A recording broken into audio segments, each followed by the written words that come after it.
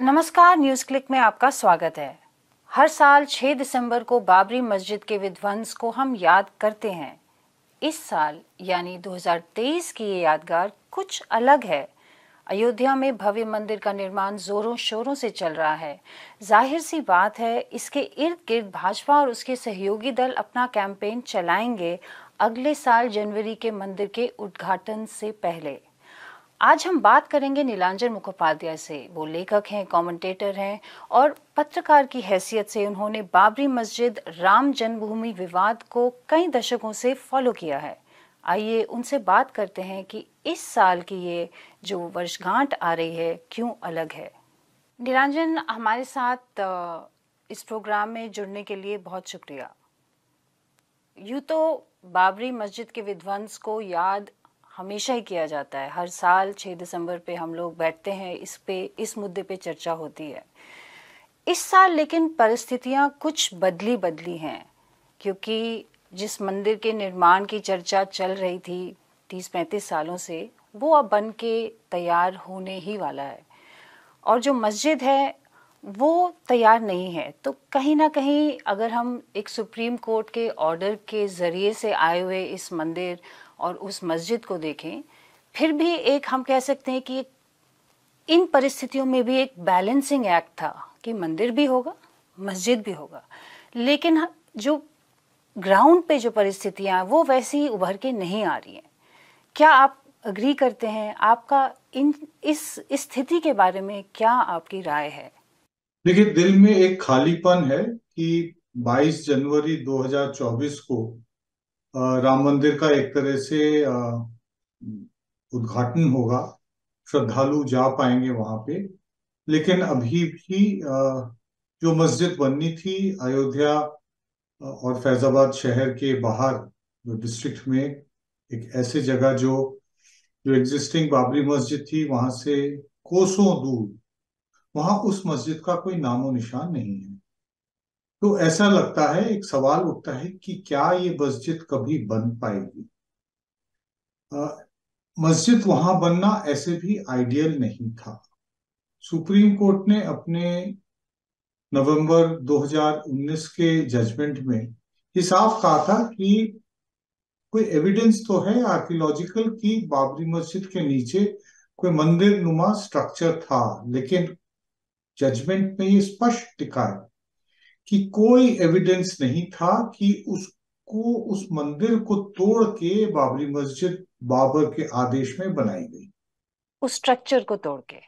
उस स्ट्रक्चर को तोड़ के कि जो जो जो मंदिर नुमा जो स्ट्रक्चर था उसको डिमोलिश करके ये मस्जिद बनाई गई। इसका कोई एविडेंस नहीं है। अक्सर ऐसा होता है हमको इतिहास में मिडेबल पीरियड में देखने को मिलता है कि बहुत बिल्डिंग्स बनती हैं जो पुरानी डिसयूज्ड और रूइनस स्ट्रक्चर्स के ऊपर बनाई जाती हैं।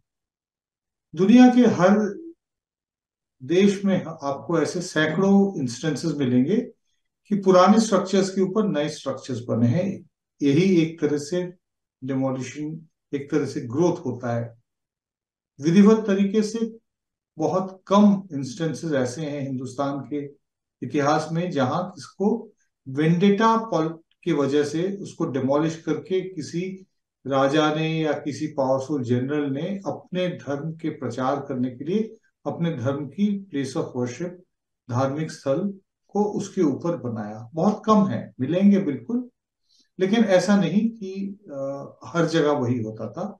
और अयोध्या में तो लगातार ये साबित होती रही कि आ, ऐसा कोई केस नहीं था। एक छोटा सा मैं मतलब आपको मतलब अपने पर्सनल एक्सपीरियंस से मैं पीछे ले जाना चाहता हूँ। देखिए, जब 85 86 में राम जन्मभूमि आंदोलन विश्व हिंदू परिषद ने शुरू किया तो उस समय वो लोग बोलते थे कि हम ये मामले को साबित करेंगे। मुसलमान अगर ऑब्जेक्ट करते हैं तो वो आए, हमारे साथ बहस करें, हम सरकार के सामने प्रूफ देंगे कि यही जगह जो है दिस प्रिसाइज स्पॉट ये ही राम जन्मभूमि है। यहीं पे रामलला पैदा हुए। करीब 88 89 की बात है कि हमको उस समय इंटरनेट वगैरह कुछ नहीं होता था। डेटा, किताबें रिसोर्सेज बहुत कम मिलती थी। हमें कहीं से पता चला कि आर्कियोलॉजिकल सर्वे ऑफ़ इंडिया ने एक प्रोजेक्ट चलाया था आर्कियोलॉजी ऑफ़ रामायण साइट्स उसके ऊपर उसकी फाइनल रिपोर्ट एएसआई ने कभी फाइनलाइज नहीं की लेकिन जो एक लीड आर्कियोलॉजिस्ट थे उन्होंने उस पर एक आर्टिकल लिखा था और उस आर्टिकल में ये कहा गया था कि सिक्स सेंचुरी बीसी के पहले आज के अयोध्या में कोई ह्यूमन हैबिटेशन का एविडेंस नहीं मिला। उन वहाँ पे एग्जैक्टली बाबरी मस्जिद के पीछे पश्चिमी शोर पे बाहर वहाँ पे एग्जैक्टली आर्कियोलॉजिकल एक्सकवेशन किए गए। तो जब हमें पता चला, मैं ऑलरेडी पत्रकार था उस समय तो बहुत ढूंढ ढांड के हमको आर्कियोलॉजिकल सर्वे ऑफ़ इंडिया के लाइब्रेरी में वो मैगजीन मिली। और उसमें बाकायदा लिखा था कि there is no evidence of human settlement before the six century BC तो हमने एक आर्टिकल लिखा ये बताते हुए कि कंटेम्प्रेरी अयोध्या में राम के एग्जिस्टेंस की कोई आर्कियोलॉजिकल एविडेंस नहीं है, क्योंकि राम अगर वाकई हिस्टोरिकल कैरेक्टर थे तो वो सिक्स सेंचुरी बीसी के काफ़ी पहले रहे बिल्कुल। तो मेरे जो एडिटर थे हालाँकि उनके सिंपतीज थे आरएसएस के साथ लेकिन वो उस समय ऐसे डेमोक्रेटिक एडिटर्स होते थे कि जब उन्होंने बाकायदा एक न्यूज़ वर्दी रिपोर्ट देखा तो उन्होंने फ्रंट पेज पे मैं उन्होंने एक संडे अखबार में काम करता था उसकी बिल्कुल बैनर हेडलाइन लगाई और हेडलाइन भी बहुत बोल्ड और clear this Ayodhya not Ram's Ayodhya ये अयोध्या राम की अयोध्या नहीं हमारे अखबार में आने के बाद तमाम जगह मतलब वायरल वर्ड नहीं होता था लेकिन ये बाकी सब अखबार मैगजीन्स में छप गया। तब जब जाके पूछा गया तब तक अडवाणी जी भी स्पोक्स पर्सन बन गए थे भारतीय जनता पार्टी ने। इनिशियली मतलब उसको राम जन्मभूमि की डिमांड को अपने एजेंडा में शामिल कर लिया था पालमपुर रेजोल्यूशन के द्वारा। जब उनसे पूछा गया कि अब तो कोई एविडेंस नहीं है तो आप क्या कहेंगे अभी भी आप प्रूव करने की बात बोलेंगे तो बोलते नहीं नहीं नहीं, नहीं। Ram is a matter of faith, you know, that the temple is there and the birthplace was there is a matter of faith. तो मैटर ऑफ़ फेथ ही तभी आया उसके बाद से कि धार्मिक मामलों में तो मतलब कोई बात ही नहीं है आज प्रोग्रेसिव जब भी आप किसी भी भारतीय जनता पार्टी या संघ परिवार के किसी भी नेता को अभी कुछ दिन पहले प्रधानमंत्री नरेंद्र मोदी भी इस पे बोल रहे थे। तो ऐसे बात करते हैं कि जैसे रामायण की कहानियाँ जो हैं, इतिहास। अब तो मतलब ऑफिशियली उसको यूजीसी और मतलब एनसीआरटी ने भी बोल दिया है कि रामायण और महाभारत को इतिहास के तौर पे पढ़ाया जाए स्कूलों में। तो ये फ़र्क आया है। जी, एक बहुत खास तरीके का एक विडंबना पैदा होता है इससे कि आस्था जो होती है, उसको प्रमाण की आवश्यकता नहीं है। लेकिन हम प्रमाण के आधारित पे कोर्ट में केस लड़ते हैं और अपने केस को साबित साबित करना, करने की कोशिश करते हैं। तो फिर एक तरह से ये क्या बीजेपी या वीएचपी या हिंदुत्व की जो पूरी ब्रिगेड है, उनके लिए ये शिफ्टिंग गोल पोस्ट वाला मामला है कि जब चाहे वो कह दें कि देखिए ये सबूत है, ये प्रमाण है, ये हमारी आस्था का प्रतीक है, इसके पीछे हिस्ट्री है, इतिहास है। और जब वो चाहे कह दें कि ये फेथ बेस्ड मैटर है तो क्या इसीलिए, और एक दूसरी चीज़ जो आपने भी ज़िक्र किया, लेकिन हिंदुत्व की जो ब्रिगेड है, उनके पास तो साढ़े तीन हज़ार या ढाई हज़ार की सूची है कि यहाँ भी एक मस्जिद है, उसके नीचे मंदिर था, यहाँ तक कि ताज महल के नीचे भी वो कहते हैं कि मंदिर ही था। तो फिर ये ये प्रमाण जो ढूंढ रहे हैं, और फिर आस्था की बात करें, दोनों एक साथ कैसे चल सकती हैं ये? देखिए ये एक विरोधाभास है ये हमेशा से कॉन्ट्रडिक्शन रहा है कि जब जो ज़्यादा सूटेबल है उसी तरह का जमला पहन लेंगे। कि अगर आपको साबित करने की बात है तो आप बोलेंगे कि जी प्रूफ होनी चाहिए। और जब आप प्रूफ नहीं दे सकते हैं किसी भी चीज़ का तब आप बोलते हैं कि ये तो आस्था का मामला है इसमें मतलब मैटर ऑफ़ फेथ है। तो आपको वो बोलने की ज़रूरत नहीं है। तो तो इसमें इसमें पूरे ये इसके लेयर्स बहुत हैं। अब जैसे जैसे एक और बहुत मज़ेदार कहानी मैं बताता हूँ। लाल कृष्णा अडवाणी दरअसल क्या है कि कृष्णा उनका ऑफिशियल नेम नहीं था, जब तक उन्होंने 96 98 में जाके एक एफिडेविट डलवा के फ़ाइल करके अपने नाम के को ओरिजिनली चेंज किया। सिंध के थे, बीच का जो नाम होता है वो पिताजी का होता है तो लाल किशन चंद अडवाणी थे। ये बात का खुलासा तब हुआ जब मैं अपनी पहली किताब जो मेरे पीछे यहाँ रखी हुई है, इसकी मैं प्रूफ रीडिंग कर रहा था तो मेरे एडिटर आए और बोले कि भैया ये नाम चेक कर लो। तो हमने फिर उनके घर में पता किया। अल्टीमेटली जाके मिसेस अडवाणी से बात हुई तो उन्होंने हंस के बोला कि नहीं नहीं, कृष्णा नहीं है उनका रियल नेम उनका नाम असल में किशन चंद है। हमने कहा तो आप बदलेंगे? उन्होंने कहा, नहीं, लोगों ने प्यार से दे दिया है तो फिर क्या फ़र्क पड़ता है? मैंने अपने एडिटर को बताया तो उन्होंने जो बोला कि आर्टिकल लिख दो इस पर तो मैंने बिल्कुल इसी तरह से आर्टिकल लिखा, जो मैंने कहा और हमारे फ्रंट पेज पे उन दिनों में इकोनॉमिक टाइम्स अखबार में काम करता था। पेज वन एंकर था। हेडलाइन उन्होंने ही दिया था। Krishna too is a matter of faith हर चीज़ फेथ का मामला लाल कृष्ण अडवाणी लाल किशन चंद अडवाणी नहीं है। क्योंकि मैटर ऑफ़ फेथ है कृष्णा। पार्टी वर्कर्स का फेथ है कि वो कृष्णा जी जी जी। तो, तो बहुत कन्वीनियंट है। मैं इसको इस तरह से व्यंग में मैं बोल रहा हूँ क्योंकि कई हद तक ये बिल्कुल हास्यास्पद लगता है। बहुत ही मतलब आयरन मतलब आयरनी फ़ील्ड भी है ये ये ये, ये पूरी जो जो नॉमेनक्लेचर सिस्टम है किसको क्या बोलना है कब क्या बेसिस पे किस चीज़ को क्या मानना है। तो फिर जो ढाई हज़ार या तीन हज़ार साढ़े तीन हज़ार जितने भी उनको उन्होंने सूची बनाई है ऐसा कहा जाता है तो क्या इसका हम क्या मतलब समझें कि अगले कुछ वर्षों तक इसी तरह का पॉलिटिक्स और रिलीजन का एक मिश्रण हमको मिलता जाएगा। या इस, जो पहले कहा जाता था कि एक बार जब बाबरी का मुद्दा, जब ये बहस, जब ये समाधान हो जाएगा तो आगे ये मामला नहीं बढ़ेगा। तो क्या वो लोग जो ऐसा कहते थे, अब गलत साबित हो चुके हैं? देखिए, राम जन्मभूमि आंदोलन के पीक में विश्व हिंदू परिषद ने ये लिस्ट जारी की थी। कई कई हज़ार। उस समय उतनी ज़्यादा ऑर्गेनाइज तरीके से नहीं होती थी चीज़ें। तो खैर एक जारी की थी। हम लोग देख रहे हैं कि कई ऐसे डिस्प्यूटेड साइट्स पे काफ़ी कुछ प्रोग्रेस हुआ है। प्रोग्रेस संघ परिवार के पर्सपेक्टिव से। वाराणसी में काशी विश्वनाथ मंदिर का केस पता है आपको। बहुत ही जटिल मोड़ पे खड़ा है कि इलाहाबाद हाईकोर्ट में सुनवाई हो रही है। एक लेवल पे कोर्ट्स में हियरिंग हो रही है लोकल कोर्ट्स में भी, बहुत ही पेचीदा लीगली कॉम्प्लिकेटेड इशू है, उतना ही कॉम्प्लेक्स है, जितना कि एक समय अयोध्या का इशू कॉम्प्लेक्स होता था।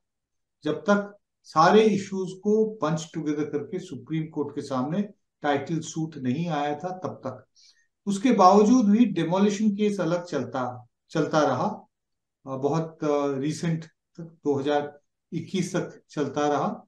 जब जाके अल्टीमेटली जिन लोगों के ऊपर आरोप लगे थे कि उन्होंने बाबरी मस्जिद को ध्वस्त करने में जो एक्टिवली इन्वॉल्व थे, उनके, उनको सबको बरी कर दिया गया। तो वह उसी तरह से एक कॉम्प्लेक्सिटी वहाँ है। मथुरा मथुरा में भी चीज़ें काफ़ी एडवांस स्टेज में। मथुरा और ज़्यादा कॉम्प्लेक्स और बहुत इंडिकेटिव है कि इनकी संघ परिवार का अल्टीमेट एम क्या है। वो ये है कि इस मुद्दे को कभी खत्म ना होने दे, इसको चलते रहे, सीरियल तरीके से चलते रहे। मथुरा में शाही ईदगाह और कृष्ण जन्म स्थान का जो विवाद था, इसको एमिकेबली और म्यूचुअली सेटल किया गया था 1967-68 उस एग्रीमेंट के बावजूद उसको पूरा रीओपन किया गया और फिर से वही चीज़ों को उखाड़ा जा रहा कि इसके नीचे एक मंदिर थी जिसको तोड़ के एक मस्जिद बनाई गई, उसको ईदगाह बनाया गया। तो ये हिंदुओं को वापस मिलना चाहिए। और हिंदुओं में से किनको मिलना चाहिए? एक संस्थान को मिलनी चाहिए जो संघ परिवार अल्टीमेटली किसी ना किसी तरीके से कंट्रोल करेगा अयोध्या में भी देखिए कि कौन, ये जो ट्रस्ट बना है, ये किसने बनाया? भारत सरकार ने बनाया। आज के पहले संघ परिवार के कंट्रोल में कोई और सरकार उतनी नहीं थी जितनी की आज की सरकार है। पूरी तरह से संघ परिवार की आइडियोलॉजी पे कमिटेड है। क्योंकि कोalition नाम के वास्ते है। तो ये प्रोसेस जो है शाही ईदगाह मैंगलोर में एक और मस्जिद पे अटैक्स हो रहे हैं। आपने ताजमहल का ज़िक्र किया तेजो महल बोला जाता है। कुतुब मीनार का केस काफ़ी एडवांस स्टेज पे है। तो ये एक तरह से जो बोलते हैं ना जो क्वाड्राफोनिक स्टीरियोफोनिक इनका रिलीजियस प्लेसेस को रेस्टोर करो रेस्टोर करो रेस्टोर करो ये बचता जा रहा है और ये बचता रहेगा। तब तक जाएगा जब तक पूरी तरह से ऑपोजिशन इसकी खत्म नहीं होगी। इन सब मुद्दों को केवल अपनी पॉलिटिकल एसेंडेंस को कंटिन्यू करने के लिए ही इस्तेमाल किया जाता लेकिन साथ ही साथ पॉलिटिकल एजेंडा के साथ साथ जो हिंदुस्तान की जनता है, क्या उसको भी बदला जा रहा है या वो बदल गई है? क्या इस बात को लेके भी लोगों को चौकन्ना हो जाना चाहिए कि अब ये वैसा हिंदुस्तान नहीं है, उस वैसे लोग नहीं है, उनकी प्रायोरिटीज बदल गई हैं।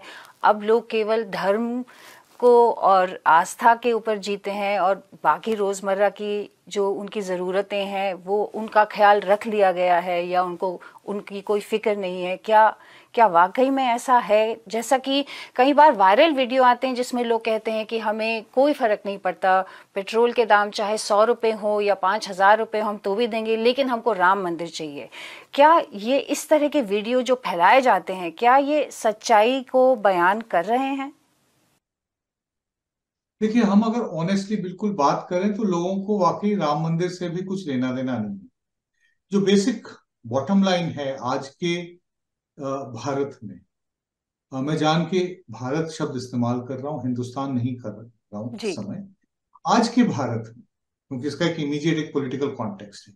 जी। बेसिक जो हिंदू है उनमें से एक बहुत बड़े तादाद में ऐसे लोग हैं जो संघ परिवार को सपोर्ट करते हैं भारतीय जनता पार्टी को वोट करते हैं जिनकी जिनको संतुष्टि हो जाती है सिर्फ़ इस जानकारी से कि सरकार और कुछ करे ना करे कम से कम मुसलमानों को तो ठीक कर दिया। ठीक कर दिया मतलब set them in order you know you know actually you know told them how to शक्ति बरतना। जो भी शब्द हम इस्तेमाल करना चाहें ठीक कर दिया। जी। मेरी जो लेटेस्ट किताब अयोध्या के ऊपर मैंने बहुत लंबे समय से मतलब लिखा है, उसको राइट फ्रॉम 1986 में जब तालिब खोले गए तब से लिखता आया हूँ। मेरी पहली किताब भी उसी समय आई थी। दिसंबर 2021 में मैंने ये वाली किताब लिखी। The demolition and the verdict demolition शब्द मेरी पहली किताब में भी थी। इसमें एक वर्ड मैंने यूज़ किया था अपने टाइटल में। Ayodhya and the project to reconfigure India मेरे ख्याल से रिकनफिगर जो वर्ड है ये सारा स्पष्ट कर देता है कि मेरी क्या सोच है कि अयोध्या आंदोलन के चलते एक तरह से पूरे, पूरा जो हिंदुस्तान का जो, भारत का जो आइडिया है, वो पूरी तरह से बदल गया है। नए किस्म से पेश किया गया।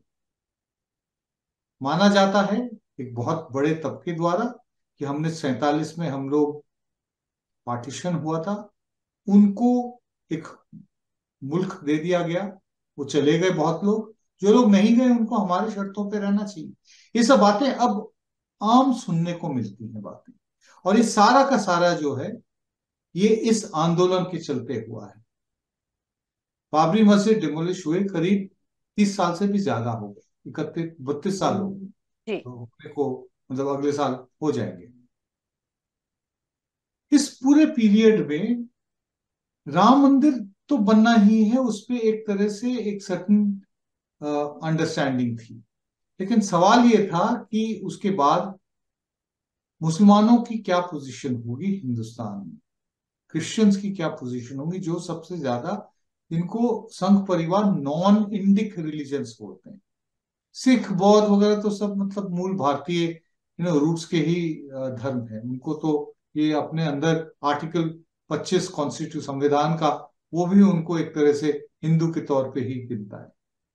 तो सवाल ये है कि जो रिलीजियस माइनॉरिटीज का जो मार्जिनलाइजेशन हो रहा है इरेलीवेंट बना दिया जा रहा है उनको इलेक्टोरल वो सब जो हुआ है, वो राम जन्मभूमि आंदोलन, बाबरी मस्जिद को ध्वस्त करना, इन सब चीज़ों के ही तहत हुआ है। राम मंदिर का जो इनोग्रेशन होगा जनवरी बाईस अगले साल को, पूरी तरह से एक सर्कल पूरा होगा और मस्जिद का, जैसे मैंने आपको शुरू में कहा, अभी भी कोई नाम और निशान नहीं है। वाकई यकीन से नहीं कहा जा सकता कि जी, कभी ना कभी एक भव्य मस्जिद अयोध्या जिला में बनाई जाएगी, जो कि सिंबॉलिकली नया होगा। उस बाबरी मस्जिद जिसको ध्वंस किया गया था 6 दिसंबर उन्नीस सौ बानवे में, कि उसको रिप्लेस करने के बनाया। डाउट होता है कभी कभी जी निजन क्या हिंदू धर्म जो जो फेथ रखते हैं या जो नहीं रखते हैं उस उस तरह से, क्या क्या जनता भी बदल गई है? क्या वो अब एक पॉलिटिकल पार्टी एक खास विचारधारा की ही बातें करती है, अपने रोज़मर्रा के मुद्दों को छोड़ के? क्या इसीलिए सरकार इतना ज़्यादा पैसा खर्च करके, समय जाया करके एक मंदिर के पीछे पड़ी हुई है? लोगों को बार बार मंदिर के उद्घाटन की बातें की जा रही है। क्या और कोई मुद्दा अब इस देश में ज़रूरी नहीं माना जाता है या यही सबसे ज़रूरी मामला माना जाता है? भारतीय जनता पार्टी के लिए राम मंदिर हमेशा से एक मोबिलाइजेशनल टूल था और अभी भी वही है, क्योंकि अगले साल लोकसभा के चुनाव होने हैं। भारतीय जनता पार्टी को लगता है कि अगर ठीक राम मंदिर का जो उद्घाटन है, ठीक उसके ईव में मतलब चुनाव अनाउंस होने के ठीक दो या तीन महीने पहले मार्च के अंत में या अप्रैल के शुरुआत में चुनाव की घोषणा होगी एग्जैक्ट कैलेंडर क्या बनता है उसके बेसिस पे? जी। कई सारे कई सारे और फैक्टर्स हैं। ठीक उसके पहले सत्रह अप्रैल को रामनवमी है बाईस जनवरी को राम मंदिर का उद्घाटन है। जी। एक महीने पहले से जैसे ही एक महीने नहीं एक्चुअली जो संक्रांति के बाद ही होगा क्योंकि हिंदू अच्छा काम, शुभ काम नहीं करते हैं जो उसके पहले का जो एक महीना होता है तो पंद्रह दिसंबर के करीब से लेके पंद्रह जनवरी के बीच में शायद इस पूरे प्रोसेस की शुरुआत नहीं की जाएगी। लेकिन ये डेफिनेटली प्लान है कि चूँकि हर कोई 22 जनवरी को नहीं जा पाएगा अयोध्या, इसलिए सब अपनी अपने गाँव में, अपने अपने शहर में, अपने अपने मोहल्लों में उस तरह के कार्यक्रम करें ताकि अपने लेवल पे राम मंदिर का, के उद्घाटन का को सेलिब्रेट किया जा सके, भजन करेंगे तो वो एक तरह से पूरा माहौल जो है, उसको रिलीजियस फर्वर से भर देने की का अटेम्प्ट है संघ परिवार का, ताकि ये वोटों में कन्वर्ट हो और भारतीय जनता पार्टी बहुत अच्छे बहुमत के साथ तीसरी बार लगातार जीत जाए। जी, हम ये कभी भूल सकते हैं कि राम मंदिर, अयोध्या ये उत्तर प्रदेश में है। जहाँ की जहाँ की इलेक्शन अस्सी सीटें जो लोकसभा की है, उनके लिए खास तौर से उत्सुक हैं सभी पार्टीज़ की हम अपना वहाँ पे दाव खेलें। नीलांजन, जाने से पहले एक चीज़ और मेरे ख्याल में आता है कि आज की साल जो है वो तो 2014 में आई, लेकिन राम मंदिर में जो कहा जाता है कि मूर्ति प्रकट हुई भगवान राम प्रकट हुए, वो 1949 से चल रहा है। तो हम आज की सरकार को उनकी भाषा में कितना क्रेडिट दे सकते हैं इस आंदोलन के लिए? क्या मोदी जी आज कोशिश कर रहे हैं कि उन्हें क्रेडिट मिल जाए या इसका कुछ सार उन पे है? देखिए, मोदी जी तो क्रेडिट लेंगे कि अल्टीमेटली उन्हीं के टेन्योर में सुप्रीम कोर्ट ने अपना फैसला सुनाया। बहुत सालों के बाद, बहुत सालों के वेट के बाद 2010 में हाई कोर्ट का फैसला आया था, जिसपे स्टे लगा दिया गया था। हाईकोर्ट ने ज़मीन को बांट दी थी और अलग अलग पार्टीज़ को हैंडओवर किया था। तो उस पर स्टे लगा देने के बाद 2010 से लेके 2019 तक नौ साल का जो पीरियड था, उस पीरियड में सुप्रीम कोर्ट की तरफ़ से उस केस को स्पीड अप एक्सपीडाइट करने के लिए कोई पहल नहीं हुई थी। फाइनली जाके 2018 में एफर्ट किया गया और उसके बाद जाके जो पिछले जो चीफ जस्टिस थे रंजन गोगोई, उनके टेन्योर में इसकी, इसको एक्सपीडाइट किया गया डे टू डे हियरिंग्स की गई और जजमेंट भी उनके सी जे आई रहते रहते डिलीवर हुआ। तो वो एक तरह से बिल्कुल क्रेडिट लेंगे कि हमारे टेन्योर में जजमेंट आया, हमारे टेन्योर में ट्रस्ट ट्रस्ट बना, हमारे टेन्योर में काम शुरू हुआ और हमारे ही टेन्योर में 2024 के चुनाव के पहले हमने राम मंदिर बन के उसका उद्घाटन कर दिया। लेकिन 2014 का जो इलेक्शन था, उसमें तो मोदी जी डेवलपमेंट के मसीहा बन रहे थे। तो क्या आप वो ये बिल्कुल छोड़ चुके हैं?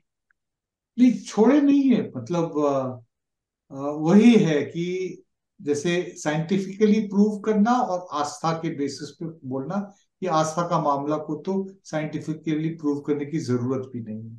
तो जब जो कन्वीनियंट होता है जब कन्वीनियंट होता है तो विकास के मुद्दे को सामने कर देते हैं। जब कन्वीनियंट नहीं होता है तो हिंदुत्व की बात करते हैं। जब कन्वीनियंट होता है तो खुद मोदी या बीजेपी के टॉप लीडर्स कुछ नहीं बोलते हैं, लेकिन कुछ साइड के नेता कुछ कुछ बोलते हैं। अब एक योगी राजस्थान में चुन के आए, वो बोले नॉन वेजिटेरियन सड़कों पे बेचना बंद होना चाहिए। ये कौन सा नियम है जब मेजोरिटी हिंदुस्तान के पॉपुलेशन की मेजोरिटी जो है नॉन वेजिटेरियन है। और ये किस तरह का मतलब नियम है कि आप पब्लिकली आप नॉन वेजिटेरियन नहीं कंज्यूम कर सकते? कल को बोलेंगे आप आलू नहीं खा सकते। कोई मान लीजिए कि जो जो लोग लैक्टोज सेंसिटिव हैं, लोग हैं, वो बोले कि हमको दूध देखने से भी हमको दिक्कत होती तो दूध बेचना बंद कर दें। ऑल मिल्क प्रोडक्ट्स को नहीं बेचे। एब्सर्डिटी की कोई सीमा नहीं है। कोई भी रेजीम जब एब्सर्डिटी को परमिट करती है, तब समझ में आता है बेसिक पर्पस जो है सिर्फ़ पॉलिटिकल और इलेक्टोरल है। वही इस गवर्नमेंट का भी यही पर्पस है। देखिए लांजन जी, आप और हम मुसलमान तो नहीं है, लेकिन हम लोग क्या एक सेकंड के लिए उस मुसलमान शख्स के जगह खड़े हो सकते हैं जो अगले साल देखेगा इस भव्य मंदिर के उद्घाटन को। एज अ सिटीजन जो देखेंगे जिन, जो बीजेपी की पॉलिटिक्स से, जो हिंदुत्व वीएचपी की पॉलिटिक्स से अग्री नहीं करते हैं, उनके मन पे क्या गुजरेगी? वो क्या सोच रहे होंगे? जरा इस पे। बिल्कुल सोच सकते हैं मतलब बिल्कुल उनसे बात करते हैं। कई लोगों से मतलब जो मित्र हैं हमारे दूसरे धर्मों के, उनसे बात होती है। इसी के साथ मतलब मैं ये भी याद दिलाना चाहता हूँ, एक वक्त वो भी था उन्नीस सौ चौरासी के बाद सिखों की। मेरे कई मित्रों ने अपने बाल कटवाए थे पूरे परिवार में। उनको बहुत करीब से देखा था। उनका दर्द देखा था जब उनको मतलब हम जैसे लोग उनको किसी बाबर शॉप में ले गए और उनके बाल कटवा के उनको वापस आए तो तब उनका दर्द पता चल, पता चलता है। बॉम्बे में जब मैं अपने चौरासी के दंगों के ऊपर और जो सिखों के खिलाफ जो अत्याचार हुआ था उस किताब के ऊपर जब मैं काम कर रहा था तो बॉम्बे में मेरे को बॉलीवुड के एक बहुत बड़े म्यूज़िक इंजीनियर मिले साउंड इंजीनियर जो जो बॉम्बे के मतलब बहुत पिछले बीस सालों में जो तमाम हिट गाने हैं उनके वो साउंड इंजीनियर रहे हैं। आ, उनसे मैंने इंटरव्यू किया था वो सरदार हैं तो उन्होंने बकायदा ये कन्फेस किया कि उन्होंने जब अपने बाल कटवाए थे तो उनके जो लास्ट जो कट के आया था, वो और लास्ट पगड़ी, वो अभी भी संभाल के अपने अलमारी में रखे हुए हैं। मतलब अपने पर्सनल म्यूज़ियम में। तो आइडेंटिटी पे थ्रेट बहुत बड़ी बात होती है। हमारे एक मुसलमान मित्र हैं, वो कहते हैं, सबसे बड़ी विडंबना तब होती है जब किसी पब्लिक स्पेस में, खासतौर से पब्लिक ट्रांसपोर्ट मेट्रो या बस में, फ़ोन बच जाता है उनका मोबाइल। और फ़ोन बोलते हैं, हेलो तो वहाँ पे आता है, सलाम वालेकुम करके कुछ चिल्लाता है, वहाँ पे बात करता है। ऑब्वियसली मतलब चिल्लाता है मतलब ये नहीं कि गुस्से में मतलब ज़ोर से एक्साइट हो गए कि भाई या या बहन से बात हो गई। वो तो उनको डिलेमा होती है कि वो कैसे जवाब दे। ऐसे जवाब दे कि जिससे उनकी धार्मिक आइडेंटिटी रिवील हो जाए उस पब्लिक में या नहीं। इस भय को कल्पना करके देखी और फिर मुझे यकीन है कि जो भी हमारा ये कार्यक्रम देखेगा वो ज़रूर समझ जाएगा कि कितने प्रेशर में रहना पड़ता है। अपनी आइडेंटिटी खुद को खुद से आ, मतलब खुद को छिपाना पड़ता है। सेल्फ को कैमोफ्लेज करना पड़ता है पब्लिक प्लेसेस में। ये हिंदुस्तान की स्थिति है।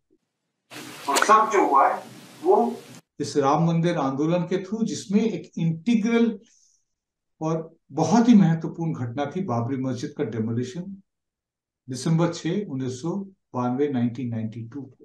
बहुत इम्पोर्टेंट दिन था। नीलांजन हमारे साथ जुड़ने के लिए बहुत शुक्रिया। सभी को न्यूज़ क्लिक के इस वीडियो को देखने के लिए बहुत शुक्रिया।